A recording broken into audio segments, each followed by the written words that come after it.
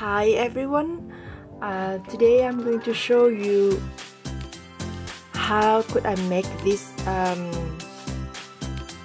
panel or rectangle piece. I'm going to use them in one of my future projects.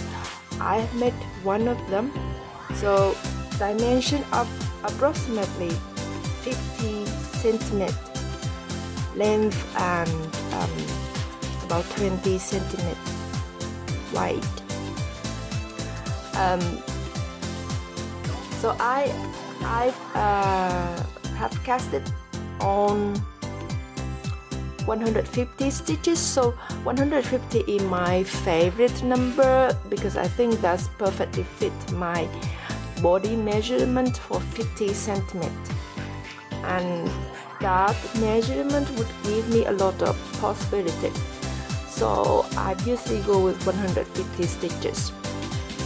Um, and this is the pattern that I'm using. Right the pattern calls for a repeat of 10 uh, and then 6 on both sides.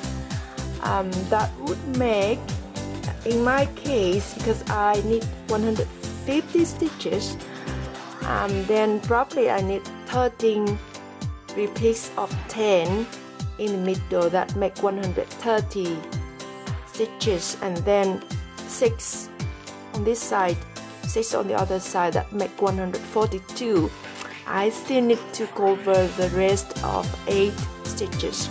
I did um, 4 plain double crochet on both sides uh, what I did to demonstrate the, the, the, um, the pattern here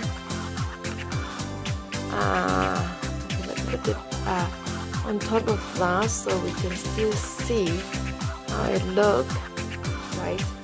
This is what I have done. I made I've made uh, 150 chains. Um, I usually confuse between chains and stitches because I do both uh, knitting and crochet. Anyway I, I think you would figure out. What I did is I make I made 150 chains and then I do one ring for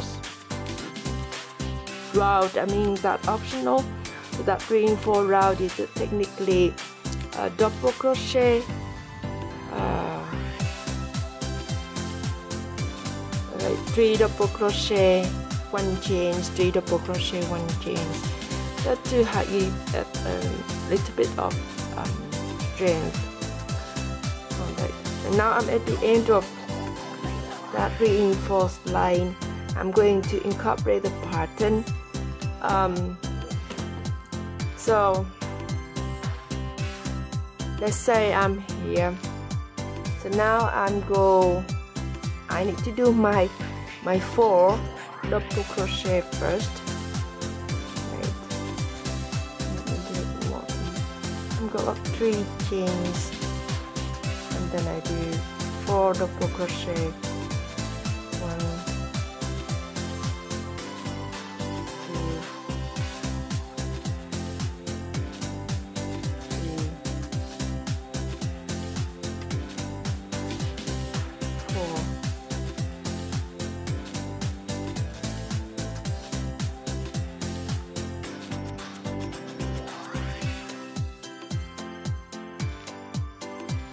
this is the pattern without the four double crochet at the end of both sides. Now I'm adding them. That's mean I need to modify it a little bit. So instead of making it um, six chains going to make three then I go down to the the fourth one. Then I make one um, single crochet. Then I do five chains leave four in between and one single crochet into the fifth one. Then I keep continue doing five chains one single crochet into the fifth one. Right.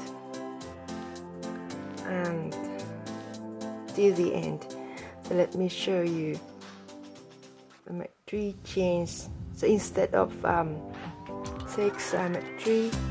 I go down to the, this is the first, second, third, fourth. Now from now on, I make 5 change, 1, 2, 3, 4, 5, and then I leave 4 chains in between, crochet into the next one, 3, 4, 5,